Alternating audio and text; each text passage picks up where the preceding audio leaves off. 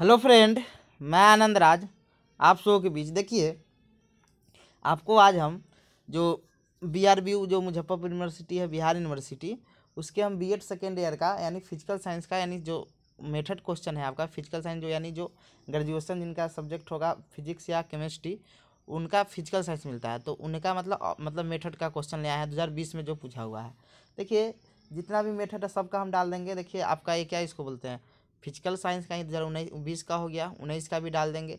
आप इसके बाद उन्नीस का डालेंगे, उसके बाद अठारह का डालेंगे, तब तब सत्रह का डालेंगे। मतलब लास्ट आपका सत्रह में ही शुरुआत हुआ था। देखिए, जानते, आप जानते होंगे बीएड जो दो साल का हुआ, दो हज़ार पंद्रह से हुआ था। दो हज़ार सत्रह में सेकेंड ईयर का एग्ज़ाम हुआ था तो दो हज़ार सत्रह से आपको फ़िज़िकल साइंस का जितना भी आपका प्रीवियस ईयर कुछ है, सत्रह, अठारह, उन्नीस और बीस, ये हम चारों डाल देंगे, समझे? और इसके अलावा आपका biological math biological science mathematics history geography civics जितना है सब का हम डाल देंगे, समझे? तो वहाँ से आप पढ़ लीजिएगा, समझे? और आपको इसी के आधार पर आप तैयारी कर लीजिएगा प्रीवियस ईयर क्वेश्चन के आधार पर।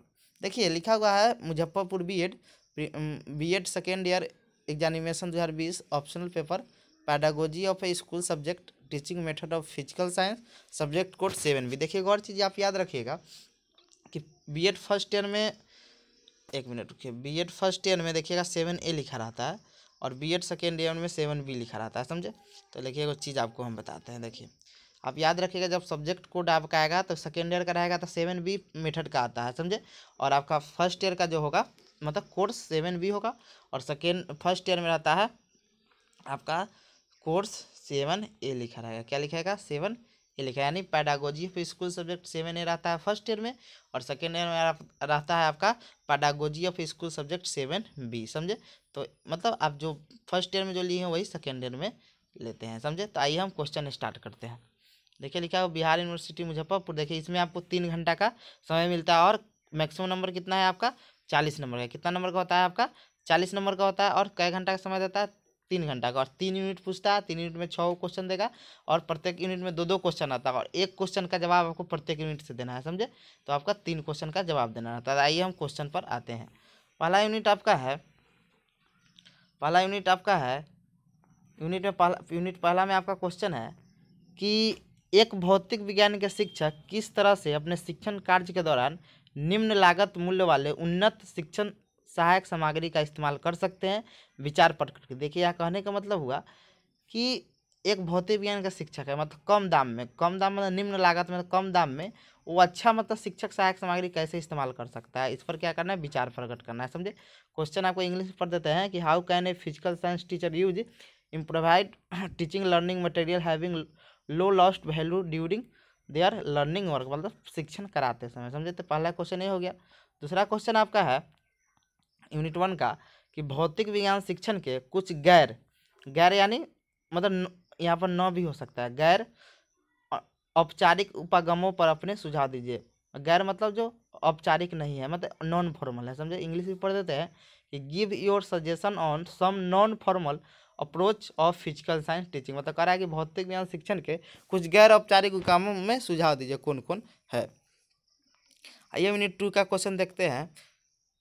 इसमें तीसरा क्वेश्चन लिखा हुआ है कि उन महत्वपूर्ण शिक्षण कौशलों को चिन्हित कीजिए जो भौतिकी भौतिकी विज्ञान विषय हेतु ज़रूरी होते हैं।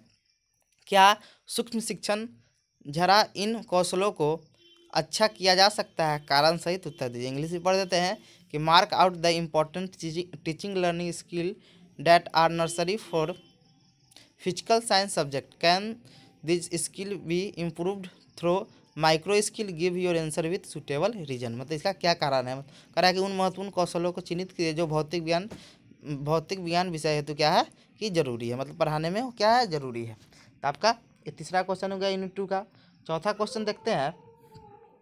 कह रहा है कि भौतिकी विज्ञान शिक्षण के समान उद्देश्यों से अवगत कराइए कह रहा है कि मतलब state the general objective of teaching physical science मतलब भौतिक विज्ञान शिक्षण के समान उद्देश्य क्या क्या होते हैं तो इससे अवगत कराना है।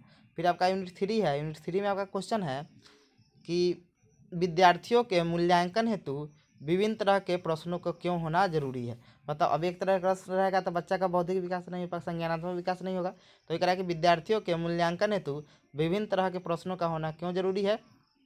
कारण विभिन्न तरह के मतलब बहुवैकल्पी हुआ, फिर आपका ऑब्जेक्टिव हुआ, फिर निवेदा निबंधात्मक हुआ, ये सब करा। वही करा कि why is the necessary of necessary to have a variety of question for student evaluation फिर आपका छठा है कि write short note of any two of this following मतलब निम्न में से किन्हीं दो पर संक्षिप्त टिप्पणी लिखिए। पहला आपका है फॉर्मेटिव इवेल्यूशन निर्माणात्मक मूल्यांकन। दूसरा है नॉन रिफ्लेसेंट टेस्ट मतलब मानक आधारित परीक्षण नॉर्म नॉर्म लिखा हुआ है।